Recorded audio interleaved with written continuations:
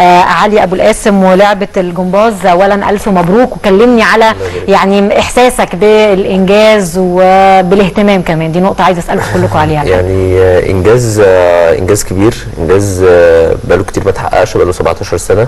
آه، الجمباز صعب جدا.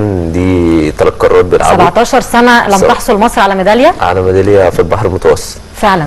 ف يعني ليه؟ ليه الجمباز متعثر كده؟ الجمباز صعب جدا الدول اللي فيه اللي بتلعب في البحر المتوسط هي ليها ترتيب أولمبي يعني من أول خمسة كمان مش هنقول من أول ثمانية. آه لعبة قوية. ال- آه، ال- الم- المشاركة برضو الناس اللي كانت هناك والمنافسة فيها مش مش مش حاجة سهلة يعني. زي ما الكابتن رجب بيقول لك هي بطولة عالم مصغره هي بالنسبة لنا بطولة عالم مصغره بس يعني قوية جدا. آه جبنا ميدالية ذهب في البنات ودي كانت تاني ميدالية في الدورة ديت و وميداليتي هي في الولاد دي اللي كانت أول ميدالية من 17 سنة.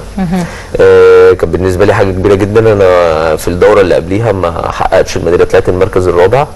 آه، بفرق 33 من 1000 مع إني كنت مصنف إن أنا آخد برضه برونز فكان بالنسبة لي إن أنا مستني الدورة دي تيجي بعد أربع سنين عشان لازم أجيب عشان الميداليه وأنتقم أجيب الهدف بتاعي. ف كانت حاجة كبيرة.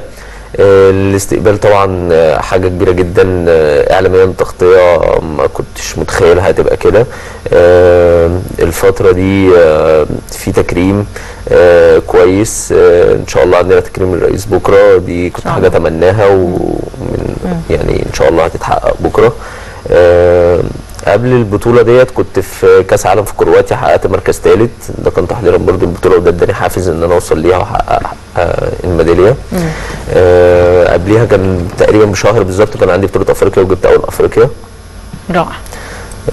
طب يعني آه يعني آه، مسيرة طويلة لأنه واضح إنه يعني وهنعرف برضو آه، منكم كلكم إنه لما بتوصلوا لمرحلة زي دي وتحققوا ميداليات إن في وراكم مجهود كبير. اتعمل. علشان تحقق ميداليه بصراحة كان ال- الفترة اللي فاتت دي مجهود الاتحاد عندنا والدكتور إيهاب أمين آه، مجهود كبير آه، واللجنة الفنية و- ونائب الرئيس آه، كابتن أحمد طلعت برضو والمدربين والجهاز الفني و- فالناس دي بصراحة اشتغلت كويس جدا واشتغلت بكل جهد عشان نوصل إن إحنا نحقق دوت. وصراحة بشكرهم يعني.